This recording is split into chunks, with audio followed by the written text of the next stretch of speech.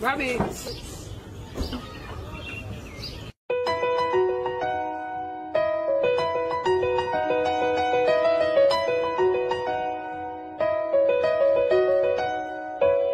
Making my way through the hood with your boo. All his homeboys think I'm cute.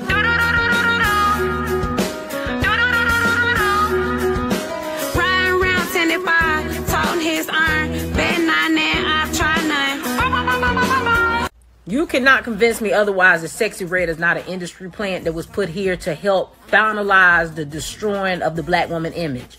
They was already had us under attack and she was here to just finalize the process. The way they trying to force her on us is just crazy. Like I wanted to go see Drake, but once I found out Drake had her opening for him, absolutely not.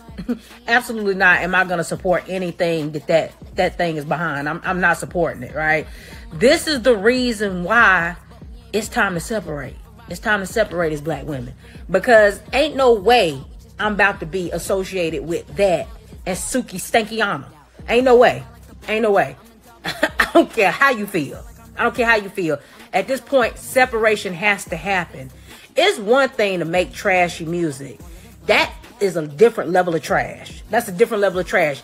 Khia's My Neck, My Back, it was bad. Uh, Trina and Trick Daddy's You Know Nan, it was bad. But that that's a different level of dirty stank music, right? It, it's just a different level.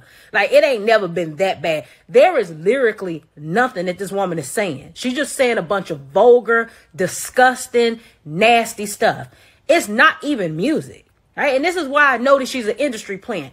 It, it is not music at this point, right? It's just she. It's just saying how much nasty, vulgar stuff she can come up with out of her mouth and how disgusting and distasteful she could present herself in public to help destroy the black woman image, right? Trying to portray it as if we all Pookeishas. And if you don't think that this is successful, just look at what hip hop and stuff did to black men and how it had people stereotyping black men as criminals and thugs, right? Even to this day, black men are still fighting to get away from that stereotype. But as of now, black women are under attack because this Pookeisha image that's being pushed is what they trying to define us by. You ain't gonna define me by that. I ain't got nothing to do with that. If they want to be ratchet, stank, ghetto, promote that, do you, right? And the sector of girls who fall under that category and that aesthetic, have fun with it. I don't want no parts. And the other halfway decent women don't want no parts of it either. Like this whole narrative that's being pushed that all black women are so hypersexual because every time you cut on your radio, every time you cut on your TV, all you see is these over hypersexual black women. That is bad. That is bad. And y'all don't understand what that can lead to. The same way promoting thugs and criminals hurt black men because it led to a stereotype of making people believe that all black men were that is the same way this will hurt black women and making people believe that we are all over hypersexual, right? And you don't even see the bigger picture, but it's very much problematic. No other community uplifts the worst of the worst of their community. You will never see non black women uplift trailer park trash and allow women who trailer park trash to be the face of them. You'll never let them see them tarnish their image that way right? But not us. Not us. We'll let Pookeisha get the limelight.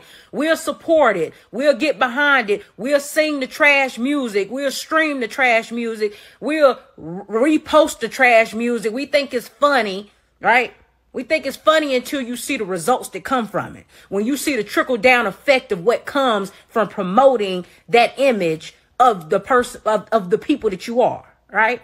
I'm not behind it. I don't support it. I don't respect it. It's disgusting.